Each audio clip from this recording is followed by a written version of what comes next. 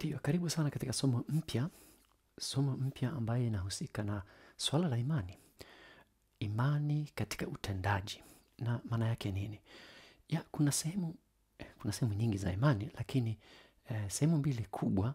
Moja ni kuamini uweza wa Mungu na kuamini yale yote ambayo tunasoma katika Biblia, mafundisho juu ya Mungu na juu ya imani yetu. Kama ufahamu ambayo tunawaingiza katika akili zetu na tunaikubali na tunaiamini. Tunaamini kwamba tunakwenda mbinguni. Tunaamini kwamba Yesu aliponya wagonjwa. Tunaamini kwamba Mungu aliumba mbingu na nchi. Lakini imani katika utendaji ni kwamba ninaamini kwamba mimi ninapoombea mgonjwa atapona.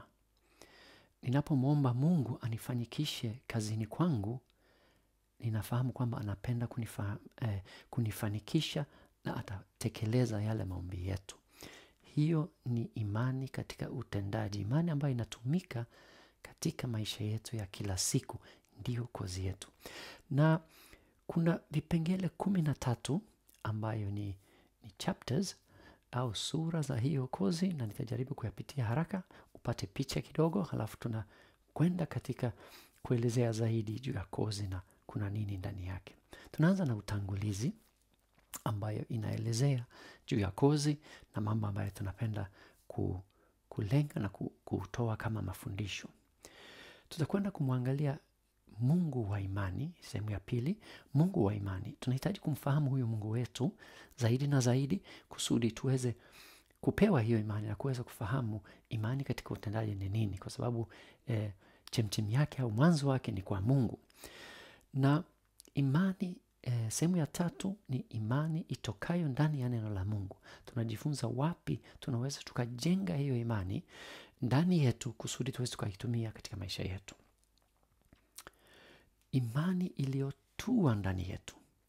Kama nilivyosema, unaweza ukasoma uka Biblia uka, ukafahamu kwamba Biblia inasema hili na hili na hili na hili, lakini kabla yale mafundisho yanatua ndani yako, ni maneno tu, hayana msaada kwako, mpaka unaanza ku, kuona kwamba hayo yananihusu na ninaweza nikayatumia, au ninaweza nikapewa kitu, au ninakusudiwa nifanye jambo fulani kutokana na yale mafundisho. Biblia inasema hivi, kila mnachokiomba kwa imani mtapewa. Tutaangalia ahadi za Biblia kwa wanayoamini, na hayo ni mambo mengi sana, ni mambo mengi mno, na ni, ni jambo ambayo tunahitaji kujifunza na kurudia kujikumbusha katika maisha yetu kila wakati. Sehemu moja ya imani ni Injili. Injili ni uwezo wa Mungu uletao uokovu kwa kila aaminie. Unaona, tunaingia katika imani karibu kila sehemu. Kuna kuna sehemu ambayo inatufanya lazima tuamini kama itakuwa na effect, kama itakuwa itafanya kazi ndani yetu. Hata uokovu wenyewe inabidi uamini kusudi ifanye kazi ndani yako hmm? Tunaambiwa kwamba mwenye haki ataishi kwa imani. Sasa kuishi kwa imani ya ndo kozi hii. Sasa kuishi kwa imani ndo tunataka tujifunza sasa katika kozi hii. Imani inawasiliana na hiyo heading inaweza ikawa ni ngumu kuelewa, lakini ina maana kwamba ninapoamini kitu pia ninaliongea, ninaitamka na ninatenda kufuatana na ile imani yetu. Ni mawasiliano, inaonye, inaonekana, watu wanaweza wakaiona, mimi mwenyewe ninaweza nikaiona katika maisha yangu. Ombi la imani, kuomba kwa imani, tutaangalia hiyo. Imani kwa uponyaji Eh, hiyo sasa ni katika utekelezaji. Sasa tutawezaje kupata imani mpaka watu wapone? Eh, hiyo ni jambo ambayo tunahitaji kujifunza namna ya kupata imani ya jinsi hiyo. Ndiyo, ni kweli kuna watu ambayo wana amini zaidi juu ya uponyaji. Mara nyingi tunawaita ni, ni, ni kama wahubiri ambayo wana, wana, wanazunguka mara nyingi katika maeneo mbalimbali, wanafanya mikutano na wanaombea wagonjwa na wagonjwa wanapona, kwa sababu wao wakati unajua una wakati unaona muujiza kila mara muujiza unapofanyika ndani ya maisha yako ile imani ya sehemu hiyo ndani ya maisha yako itakuzwa kidogo. Tutaiongea hiyo kidogo katika kozi pia kwa sababu hii ni jambo la msingi sana. Mwishoni tutakwenza kuangalia kuamini kwa mungu anapenda kutubariki kwa wingi. Au kuamini kwamba hayo yote ambayo tunayasoma ahadi zote yananihusu mimi. Ina maana kwamba biblia inaposema mtaweka mikono yenu juu ya wagonjwa mtaombeana watapona inanihusu mimi. Wakati mungu anasema kwamba sitakosa kitu inanihusu mimi. Wakati eh, mimi ninaumwa ninaweza nikamwambia mungu aniponye na inanihusu mimi. Sasa hiyo ni, ni mtazamo mtazamo wangu juu ya mungu inaniongoza katika namna ya kuamini kwamba hayo yananihusu. Tutaangalia vizuizi vya imani. Imani ni jambo ambaye mungu, eh, shetani haipendi. Hapendi hata kidogo wewe huishi kwa imani. Kwa hiyo yeye lazima anatengeneza njia ya kutuzuia kusudi hiyo imani ifanye kazi. Kwa hiyo tutaangalia vizuizi vya imani ni nini.